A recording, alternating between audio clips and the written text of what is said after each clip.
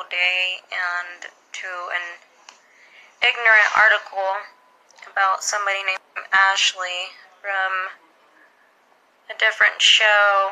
And the one thing that I have to say to you is you're irrelevant in every single way. Keep my name out of your mouth. Keep my boyfriend's name out of your mouth. And apparently, if I've known a man for a year now almost, I know about visas and waivers, etc. Um, and uh, I can compare to whatever I want. And I understood everything that was said. However, if my boyfriend feels offended, then I will defend him, even if it's something about me. So, also another thing, um,